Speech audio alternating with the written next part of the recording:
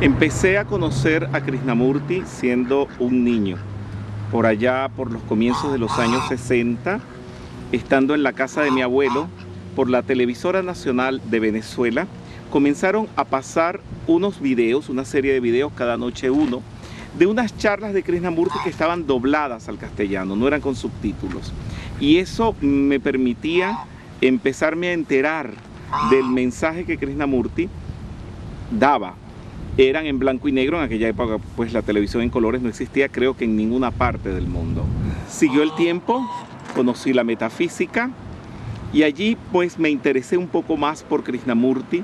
Sobre todo había un nexo con Krishnamurti que me apasionaba. Era la relación que él tenía con el maestro Kuthumi, porque también desde siempre le tuve un amor tremendo al maestro Kuthumi. Y sabiendo que él estaba vivo, siempre deseé conocerlo para establecer un contacto, no solamente con él, sino con el maestro al cual yo amo tanto. Se ha especulado mucho sobre quién es Krishnamurti.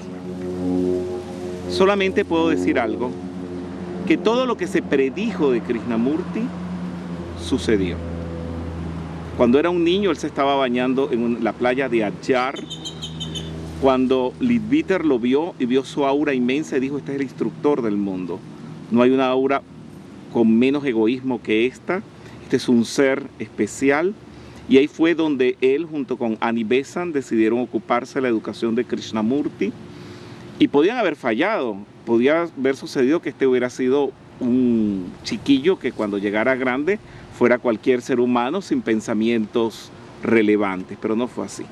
Krishnamurti deslumbró al mundo dando una instrucción lo dieron a conocer al mundo como la encarnación del Cristo. Cuando decimos la encarnación del Cristo, es la encarnación del Cristo Maitreya, que para aquella época el señor Maitreya era el Cristo de la tierra, un cargo de la jerarquía espiritual que está por debajo del, del Señor del mundo, y es el Cristo, en este caso Maitreya, el que se encarga de dar las religiones y dirigir los movimientos filosóficos a la tierra.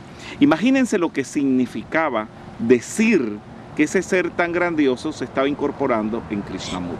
Por supuesto, hubieron tendencias en contra, hubo tendencias a favor, y todo esto desembocó en que Krishnamurti se separara de la organización que lo dio a conocer, se independizara y comenzara a dar un mensaje muy particular que solamente en el planeta Tierra lo ha dado el señor Gautama, que era el desposeer la mente de imágenes, de conceptos, liberarnos de toda atadura psicológica y no depender de absolutamente nada.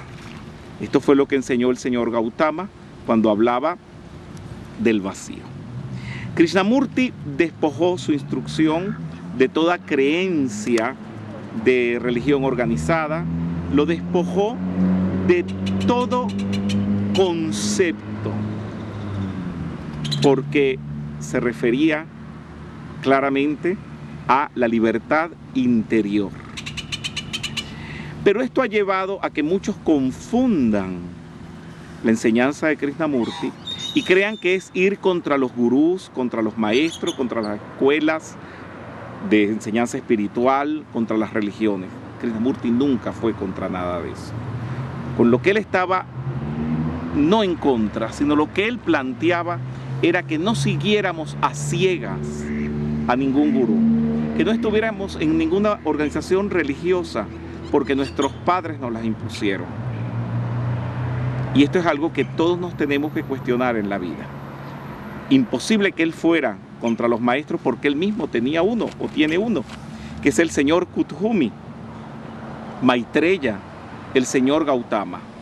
Tres maestros que se presentaron ante él bajo el pimentero allá en Ojai. Tres maestros que estuvieron siempre rodeando su vida y uno de ellos, Kuthumi, fue el que les dio, el que le dio a él el libro a los pies del maestro.